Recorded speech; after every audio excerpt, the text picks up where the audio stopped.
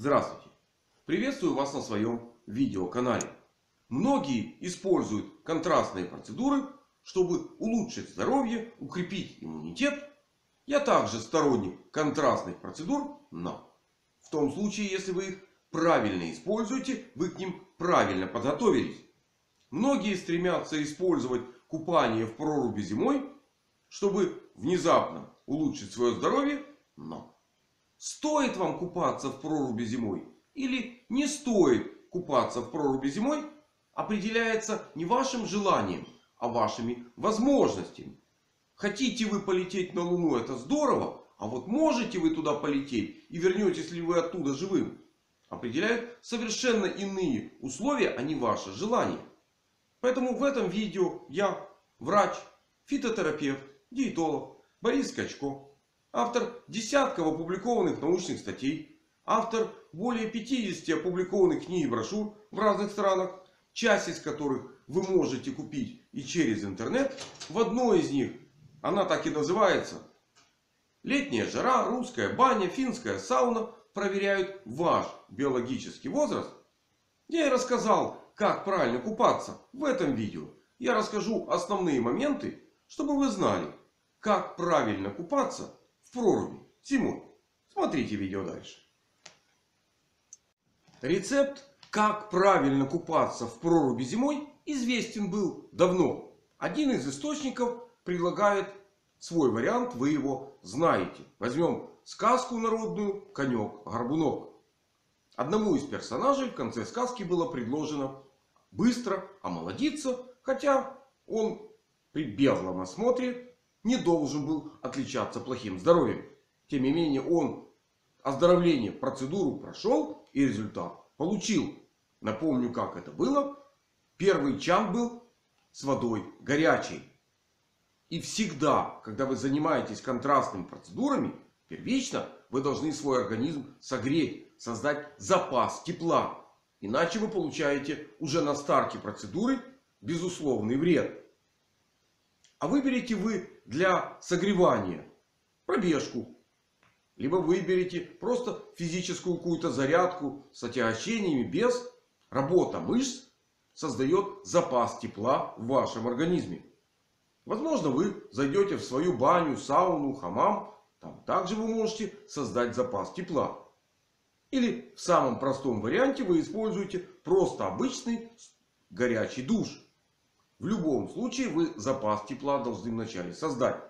Следующая процедура охлаждающая. В оригинале чан был с водой, а вода была покрыта льдом. Иными словами, температура воды в чане была плюс 3-4 градуса по Цельсию. Достаточно низкая и хорошо контрастная. И реально после нагревания вы должны произвести охлаждение. Если вы бегали по берегу водоема, у вас купание в проруби зимой может состояться. Вы сняли там тепловую нагрузку. Баня, сауна, как правило, есть бассейн с холодной водой. Вы тоже можете там снять тепловую нагрузку. Если вы в любимой ванной, вы просто добавляете себе холодной воды и снижаете температуру воды до той, которая вам нужна. В каждом случае вы получили контраст. Вы получили знак плюс. Вернемся к сказке. Следующая процедура с нагреванием. Иными словами, чан с горячим молоком. После которого персонаж вышел омолодившимся. Что вы можете делать в тех условиях, в которых вы находитесь. Если вы на берегу водоема, энергичное растирание, именно энергичное, вы должны активно двигаться и работой мышц вновь создать запас тепла. Если вы находитесь в водоеме около бани сауны, вы опять-таки зашли в парную, опять себя нагрели. Если вы находитесь в любимой ванной, вы убрали холодную воды и у вас опять из-под крана идет горячая вода. Но в оригинальном рецепте процедура представлена в сокращенном виде. Что говорит нам нормальная физиология?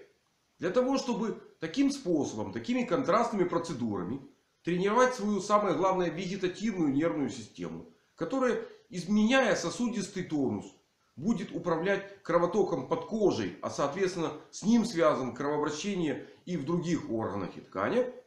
Вам нужно пройти три подряд смены воды или э, окружая, температуры окружающей вас среды с холодной на горячую.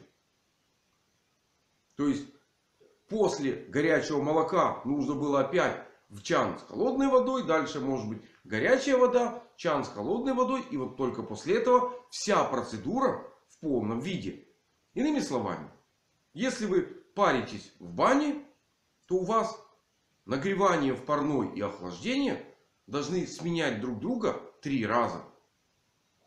В этом случае вы получаете максимальную пользу через тренировку вегетативной нервной системы. Если вы купаетесь в проруби зимой, то вы должны трижды искупаться в проруби. Перед этим согрев, создав, создав нагревание своего организма, опять пойти покупаться.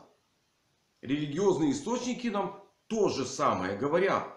Троекратное купание. Но не троекратное окунание в воде. Вы зашли в водоем, где температура достаточно низкая. И просто трижды с головой окунулись. Это неправильно. Это категорически неправильно. После того, как вы один раз зашли, охладились, вышли, нагрелись, опять охладились. И вот только после третьего выхода из холодной воды у вас реально получается тренировка сосудов. Вы реально получаете пользу. Если после этой процедуры вы чувствуете себя бодрым и здоровым, прекрасно, вы все сделали правильно. Правда в сказке представлен и другой результат. Многие сегодня ищут отзывы в интернете. В этой сказке все отзывы прописаны просто прекрасно. Более старшего биологического возраста, во всяком случае по внешнему виду, персонаж тоже попытался омолодиться таким лихим способом. И результат известен. Царь бух котел и там сварился. Почему так произошло? Конечно, в сказочных персонажах не был зарегистрирован врач, который мог бы оценить уровень здоровья царя и сказать, дружок, такая контрастная процедура тебе сегодня не по силам. Ты не можешь ее выдержать. Тебе нужна другая контрастная процедура с более низкими значениями, с меньшим размахом между горячей и холодной температурой. Вот тогда будет тоже польза. И как выбрать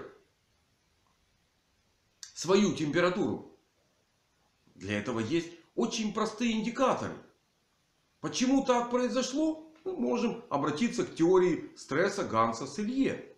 Он все прекрасно прописал. Есть тренирующий эустресс. Иными словами, если возможности вашего организма выше, чем тот фактор, который действует на вас, Чудесно. Вы тогда получаете тренировку, получаете тренировочный, тренирующий эостресс. Если возможности вашего организма уже, чем фактор, который на вас действует, вы получаете разрушительный дистресс. Царь получил второй вариант, потому как он не был готов к этой процедуре. Возможно, он не тренировался. Да, он сидел в тепличных условиях своего дворца. А предыдущий персонаж ну, мытарил в поисках различных приключений на свою голову. Поэтому здесь очень важный индикатор степень готовности. Прорубь не исключение. Если вы хотите купаться в проруби зимой, вам нужно быть уверенным, что вы готовы к этому купанию. Тогда купание зимой в проруби даст вам несомненный плюс. Рецепт я вам уже рассказал. Что может получиться, вы уже знаете. Если мы посмотрим еще одну систему, которая, в которой заложено купание в проруби. Вспомним детку Порфирия Иванова. Там также все это было прописано. И если бы последователи все использовали правильно, а возможно они используют правильно.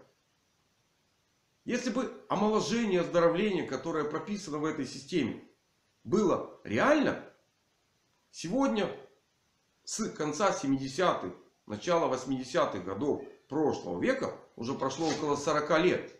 Иными словами, люди, которые в то время могли задуматься о своем здоровье, это 40, 50, 60 лет. Обычно в этом возрасте задумываются о здоровье. До этого здоровья считается хватает. Если мы добавим каждой цифре по 40 лет. Иными словами, сегодня около водоемов купаться в проруби зимой должны 80, 90, 100-летние молодцы. Которые по этой системе идя приобретают здоровье. Но. Часть из них могла уйти путем царя. А часть из них могла, понимая возможности своего организма, уменьшить размах температур. Им уже достаточно не просто купание в проруби зимой. Им достаточен просто контрастный душ. В котором можно регулировать температуру воды, которой вы обрабатываете свою, поверхность своего тела. В зависимости от возможности вашего организма. Можно уменьшить диапазон температур и получать точно такое же воздействие на свой организм, тренирующее. И продолжать получать здоровье, сохранять здоровье, укреплять иммунитет, жить долго и счастливо. Судя по тому, что сегодня, если вы посмотрите, какой возраст, ну, во всяком случае, внешне, возможно, выглядят молодо люди почтенного возраста. И вы не можете их отличить от людей молодого возраста. Если вы посмотрите на возраст тех, кто купается в проруби, вы, возможно, увидите эту ситуацию, увидите, что люди более преклонного возраста, скорее всего, что уже видят, они не могут такую достаточно интенсивную, достаточно контрастную тепловую нагрузку выдержать. Как со знаком плюс, так и минус. Это все равно тепловая нагрузка. Одна сообщает тепло, а другая отнимает тепло. И возможно они уже просто занимаются, проводят контрастный душ по возможностям своего организма. И это здорово. Что делать еще как правильно, на мой взгляд, применять тепловые нагрузки в зависимости от индивидуального состояния вашего организма? Вам, возможно, нужен, нужна консультация врача, чтобы определить глобально свое здоровье. Но есть очень простые индикаторы, которые позволяют вам в домашних условиях легко и просто определить свой уровень здоровья и степень вашей готовности к контрастным процедурам. И стоит вам купаться в проруби зимой или не стоит вам применять купание зимой в проруби к своему организму, вы узнаете прямо сейчас. Если вы правильно подобрали способ нагревания своего организма и температуру охлаждающей вас среды, пройдя три цикла горячее, нагревание, охлаждение, вы получаете несомненный плюс для своего здоровья. Иными словами, ощущаете бодрость, прилив сил, высокую работоспособность и неизменным следствием укрепление вашего иммунитета. Если же вы что-то нарушили, переоценили возможности своего организма, по завершению полного цикла вы чувствуете усталость, разбитость, сонливость. И соответственно ваша иммунная система будет примерно такого же качества. Поэтому купаться в проруби зимой или не купаться в проруби зимой. Нужно к этому быть реально готовым. Очень важен способ охлаждения. Скорость охлаждения я бы сказал. Самая безопасная скорость когда вы стоите под душем и просто холодной водой снимаете тепловую нагрузку. Значительно более жесткая процедура, если вы купаетесь в бассейне с холодной водой, в речке, в озере. И вход в воду у вас идет неправильно. Иными словами, вход резкий. Этого делать ни в коем случае нельзя. Нужно всегда постепенно зайти в воду, постепенно охлаждать свой организм и только в этом случае вы получаете пользу. Под кожей, когда вы распарились, находится примерно 30% крови. И если человек весом 60-70 килограмм, у него примерно полтора литра крови находится в сосудах кожи. Внезапное охлаждение, спазм сосудов кожи, кровь пошла в центр, а сердце за одно сокращение прокачивает примерно 150 миллилитров. Сердце затрепыхалось, у вас ощущение, ух, здорово, класс. А на самом деле ваш ангел-хранитель держит слабые места ваших сосудов и делает в это время вам непрямой массаж сердца, чтобы оно ни в коем случае не разорвалось. Меня часто приглашают в качестве эксперта на различные передачи медицинского направления. И я, кроме того, что являюсь экспертом, я еще член научно-методического совета Международной академии банного искусства. И я знаю, о чем я говорю. У банщиков со стажем неправильный вход в бассейн с холодной водой дает примерно одного не вышедшего из бассейна живым на протяжении пяти лет работы. Когда человек не слышит специалиста, банщика, который говорит, нужно это делать постепенно, тепловую нагрузку нужно снимать постепенно. И просто я выдержу, я здоровый, ныряет в водоем в лучшем случае аритмия, в худшем случае разрыв сердца. И это нужно знать и просто правильно использовать. Не испытывать своего ангела-хранителя, а использовать знания современной медицины для того, чтобы ваше здоровье было лучше.